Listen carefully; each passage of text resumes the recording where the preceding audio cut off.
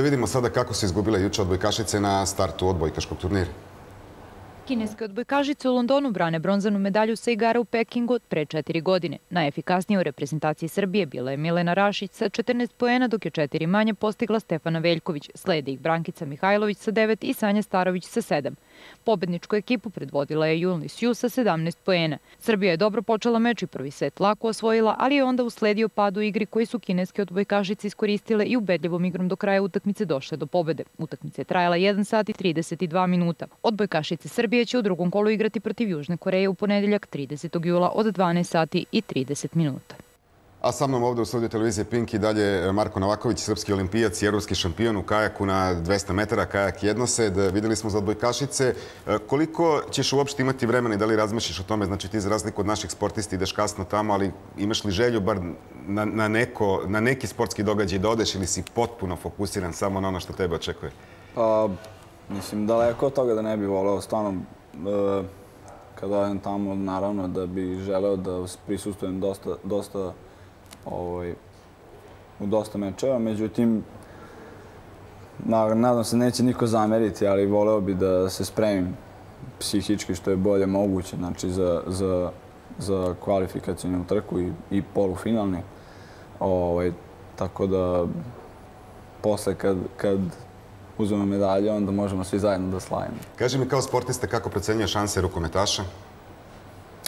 Pa verujem da, da su svi generalno, ne samo rukometaši, nego svi generalno da su dobri. Znači, moraju, moraju to da odrade.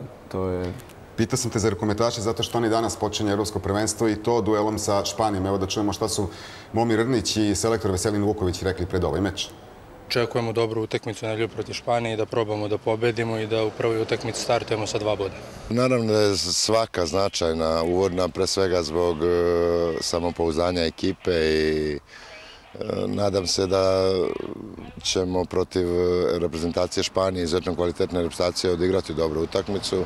Već smo pre dva, dva i po meseca igrali sa Špancima na kvalifikacijama u Alicanteu i odigrali smo dobru utakmicu do 57. minuta i malo uz e, pomoć sudija Španci su nas dobili, ali znam da su se mnogo radovali i da e, su bili veoma zadovoljni što su tu utakmicu dobili.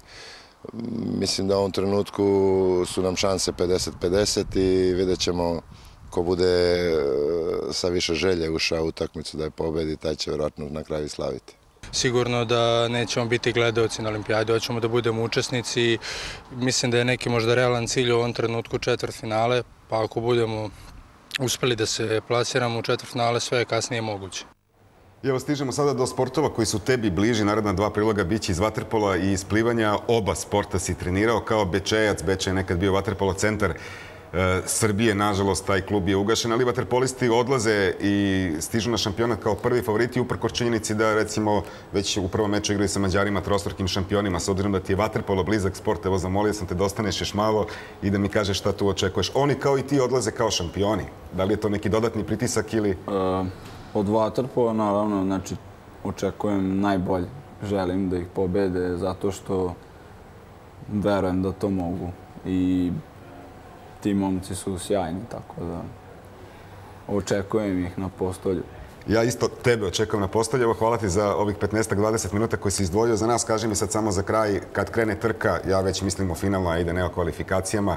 Ono, šta je u glavi? Šta se događa? U, pa ništa. Uživam u tom, u tom, da kažemo, trkanju. Znači, Jel gledaš levo, desno? To je kratka trka, ili ima vremena uošte za to? Ništa, ne, zato što, zato što će mi to oduzeti jako mnogo vremena. Znači, moram da se skoncentrišem. Samo gledam svoju stazu i to je to. ja znam iz atletike, sam pričao sa onima koji su, ne znam, trčali duge prugi i onih 100 metara, kažu da je često trka na 100 metara teža i eksplozivnija nego, naravno eksplozivnija, ali teža fizički za, od trke recimo na 5000 metara. Koliko god to čudno zvučalo, pa, toliko se snagi u kratkom vremenu potroši. Znači, to mora, pretpostavljam da je ovde slično. Pa to jeste. Jedna i druga, jedna i druga disciplina su e, teške, međutim, e, na, na tim dužim distancama nekako imate vremena da ispravite grešku. Znači, sad kako to zvučalo, ne, ne neku katastrofalnu grešku, ali imate dovoljno vremena. A ovde opet treba znači, savršeno istrčati, izveslati kako god. Znači, da, da inače dobar rezultat Ništa dobar drugačije. rezultat. Hvala na vremenu koji se zdvojio, puno sreće e, u Londonu i evo ja se nadam da se sa nekom medaljom vidimo 15. 16. kad se vratiš ovde narednog meseca. Hvala.